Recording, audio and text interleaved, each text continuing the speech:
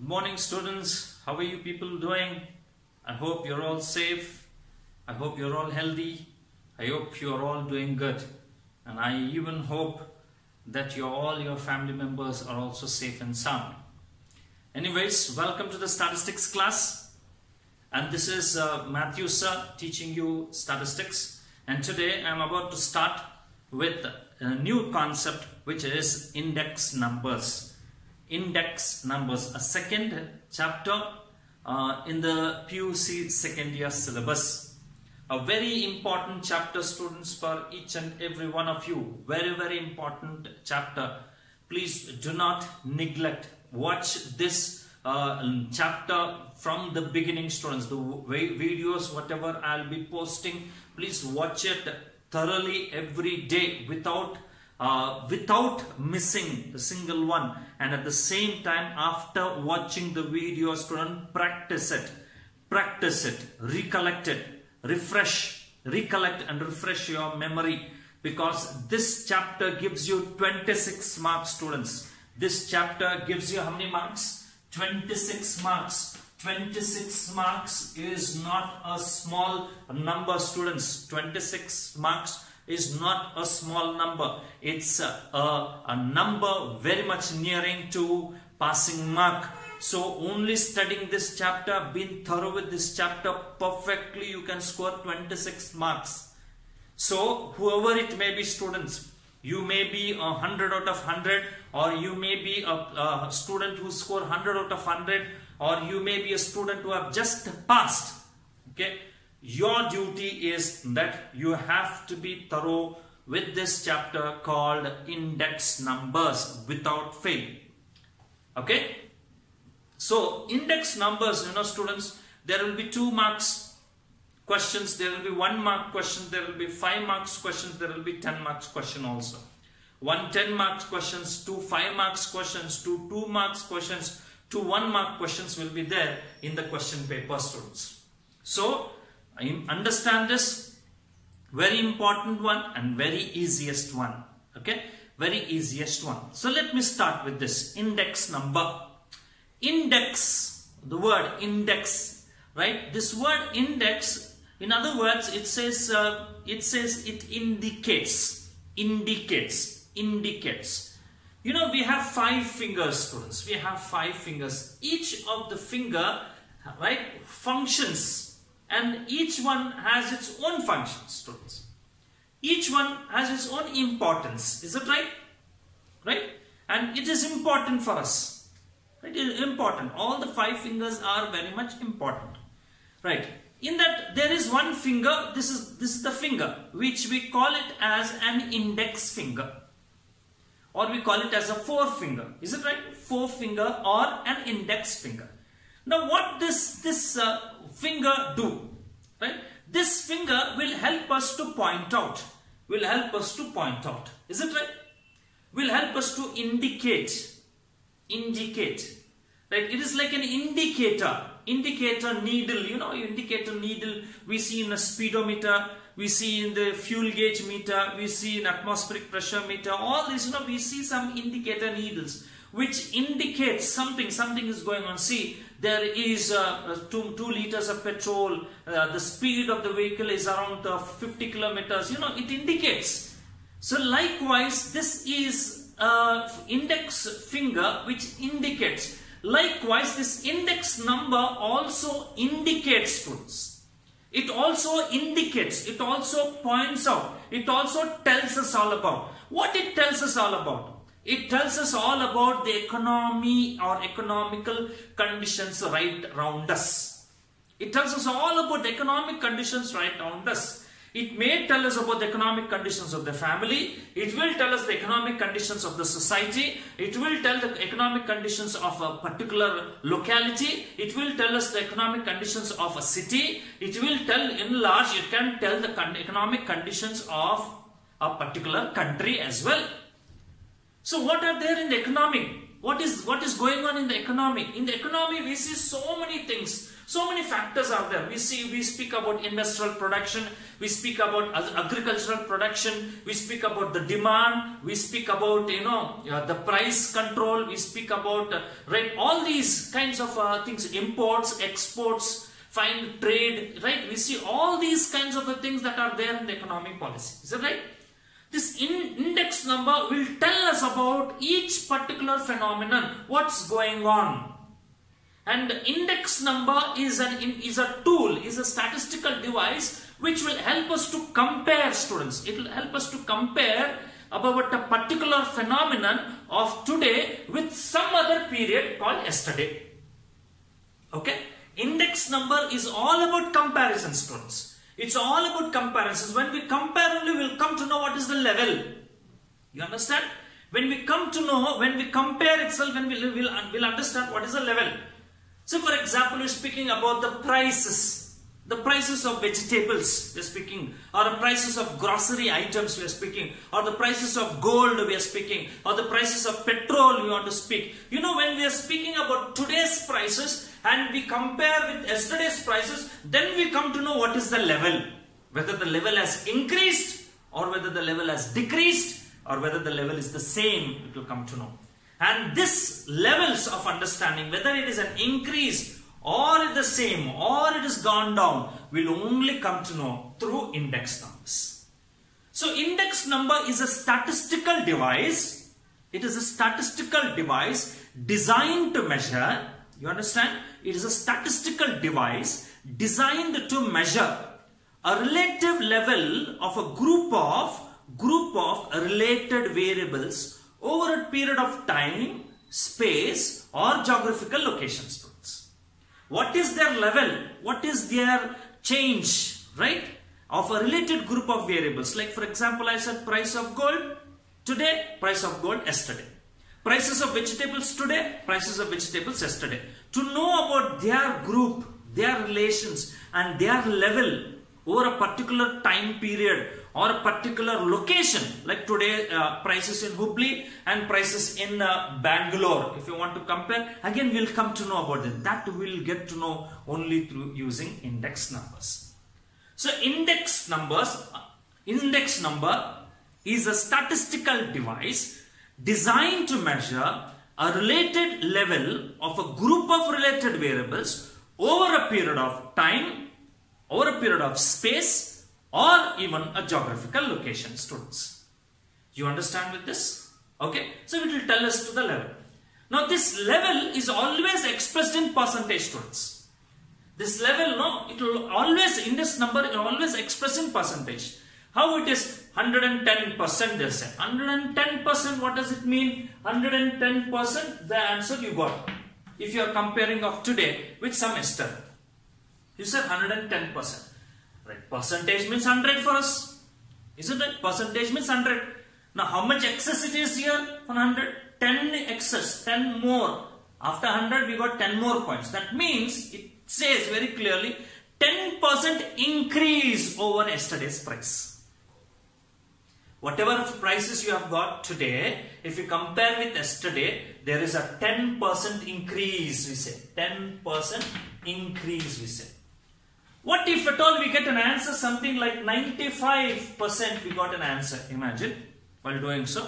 Now what it is? Percentage means 100. Now how much less here we find to 100?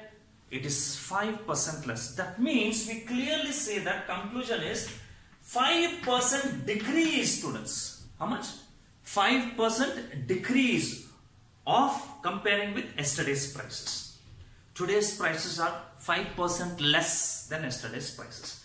This is how we express it students. This is what index numbers will tell us. Okay. So index numbers are statistical device devices designed to measure a relative level of a group of related variables over a period of time or space students. And these index numbers are called as economic barometers. Economic barometers students. Barometers. What do you mean by this economic barometers? Right? Barometers. Barometer is a device, okay, to measure the atmospheric pressure. To know what is the pressure outside, atmospheric pressure. To know about it, we use a barometer. The same way, index number will tell us about the economic pressure, the the, the pulse of Indian economy, what's going on in uh, industrial production, what's going on in agricultural production, what is the GDP, right? Right, how it is going on, right? What is the import, what is the export, fine, what are the uh, prices of petrol, what are the prices of uh, uh edible oils, what are the prices of, uh, right, uh, what you can say, gold, what is the price of silver, precious metals? All these things you know these are what we speak about. This is what is all about economy economic activities. And these economic activities this index number will tell us the pulse what's going on what is the rate? What it is all about? Okay? If you just check here you know we just see a pulse. If you see the heartbeat we see that if we, if we just hold a finger here and we can see the beat of the heart and we say 72 per minute is it right? So it tells us that heart is functioning normally. That's the same way. Like that itself, when we just uh, take the index number and find out what is the industrial production of yesterday and today, and we find out what is agricultural production of yesterday and today, if we find out in such a way, it will tell us what is the pulse of today's economy. And that is the reason why index numbers are called as economic barometers. Understand students? It tells us about the pulse of Indian economy or it, it tells us the pulse of economy. That is what why we call it as index numbers as economic barometers. This is for two mark students. Okay. So why index numbers are called as economic barometers? Because it gives us or it tells us about the pulse of Indian or it tells us about the pulse of economy. That is the reason why it is called as economic barometers too. Okay. Right. Now, in index numbers students, I was telling that always it's all about comparisons. Is it right? Comparisons of today and comparison of yesterday. So in comparisons of today, it means today we call in index number as current period students. And yesterday's time we call it as base period. Literally yesterday means not yesterday. It may, it may be about one year back it may be 5 years back, it may be 10 years back. Okay? Whichever time period that you take, whichever period you take, whichever year that you take, and that particular year or period or time period will be called as a base period. Current period will be called as the existing one or the nearest one. You understand students? It will be the it will be called as the existing one or the nearest one. So in current in, in index number, current period is always denoted as 1 and base period is always denoted as 0 students. Okay? Current period is denoted as 1 and base period is denoted as 0 students. Is that clear? Okay. Now, let me speak about certain things here. Now, if ever I have to compare, okay, if I have to compare they said in, in, index numbers, they said that index number speaks about uh, what it is, uh, level of related group of variables. Okay. Now one variable you take, that variable is called as price. And group of variables, there's a group, right? Group of items, uh, group of uh, um, uh, vegetables like that. So in that I'll take only one particular vegetable item and I will take only one variable that is price. Okay. So we take it as P. Price means P in index numbers. Okay. And current period price is taken as P1. Base period price is taken as P0. We do not like this. P1 indicate price in the current year. P0 indicate price in the base year. Is that clear? So imagine a price of tomato. Today's price is something around 50 rupees. Okay? How much? How much? 50 rupees. And uh, yesterday it was something around 10 rupees per kg. You are, are you understanding? Okay. Today's price of tomato is 50 rupees per kg. Yesterday's price of tomato per kg is 10 rupees. Now how to calculate this index number, what it does, how it, how it is being calculated. It's, it's calculated in a simple form students. P is equal to P1 upon P0 into 100. That is 50 divided by 10 into 100. What does it mean? If we just cancel it, in other words, we get something called as 500. We call it as, how much you get it as? 500. 500%. Okay? What does it mean 500%? Percentage means how much it is for us? It is 100. So how much more it is? How much more? 400% more. That means we can clearly say that 400% increase over yesterday's price. Price of tomatoes of today, if we compare with yesterday's price, it has increased by 400%. How much? 400%. Is that clear? So same way likewise students, if I do the reverse, imagine if I have this as 10 and this has to be 50. Yesterday's price was 50 and today's price is 10. So it would be like this 10 divided by 50, is it right? Into 100. Is that right? So it would be 51s, 52s, 2 into 20, 10 is equal to how much? 20, 20%. So that means what it is, how much less it is to 100. 100 is taken as base. Okay? We measure it to taking it 100 as base. Now, for 100, how much it is less? 80% it is less. That means we clearly say that 80% decrease over yesterday's prices. Yesterday it was how much? 50 rupees and today it is only 10 rupees. So what is the decrease we can say? How much percentage decrease? 80% decrease of the yesterday's prices. This is what we can conclude. Now, when we speak about this now students, uh, you remember this, I have taken only one vegetable and I have taken only one variable.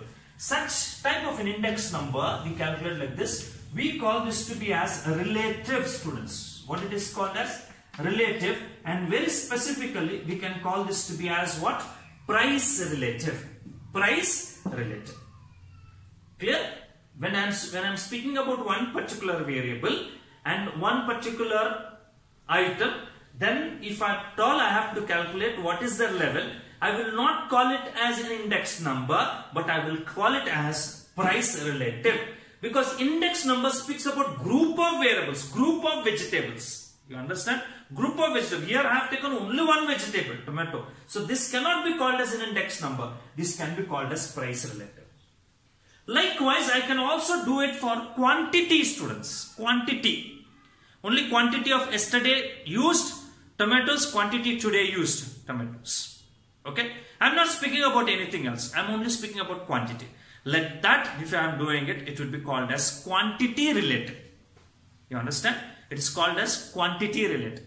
Then another thing we have it as value related. That also is like for example value of an item. Yesterday, today you purchase one item and it's worth so much.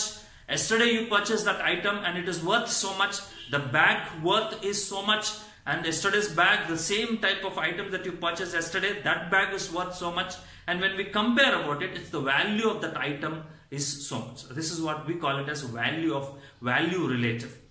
So there are three relatives. Price relative. When only one item one variable is used. Quantity relative. When one item one variable used in terms of quantity. Okay? And value also is one item one variable. So it is called as value relative. Okay? So quantity relative is written as q is equal to right q1 upon q0 into 100 value relative is given as v1 upon v0 into 100 okay? This is price relative. P is equal to p1 upon p0 into 100 quantity relative. Q is equal to q1 upon q0 into 100 value relative. V is equal to v1 upon v0 into 100 this is what we have, students. Okay, fine. This is all about the introduction of index numbers. Okay, thank you.